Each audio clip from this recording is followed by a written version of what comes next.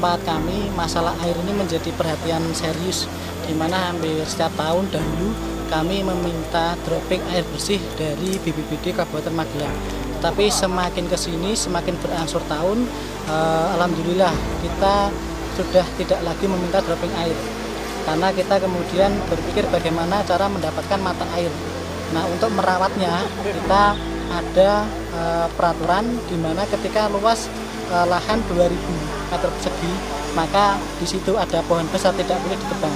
Nah, selain itu di masyarakat juga ada tanda kutip mitos gitu. ketika pohon besar kemudian ditebang ini khawatirnya nanti yang nebang ini kemudian diperimpeni nah, ditakut-takuti oleh makhluk halus begitu. Nah maka dari itu pohon besar dengan kepercayaan mistis ini kemudian mendorong masyarakat untuk tetap melestarikan bersama-sama. Di kawasan Silumut sini saja Dusun Sabrang ini ada 88 mata air. Ini baru di satu kawasan masih ada di kawasan lain yaitu Dusun Progosari dan dusun-dusun lainnya.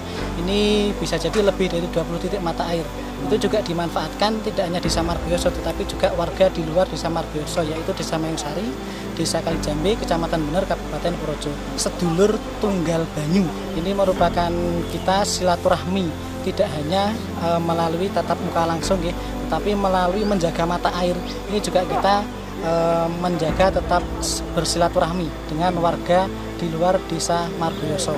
Jadi melalui mata air kita tetap bersaudara dan mempererat tali silaturahmi.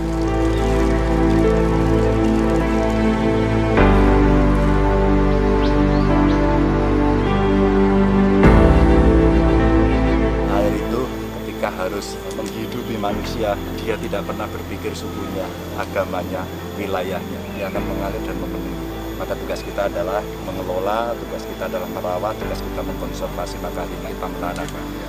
Jadi kalau minggu lalu agenda saya nanam di atas rawa bening, hari kemarin nanam di pinggir sungai Jeragung yang ada di Demak, dan hari ini kita tanam lagi bersama Pak Kades, Pak Adidaya ini di Kabupaten Magelang bersama Pak Bupati.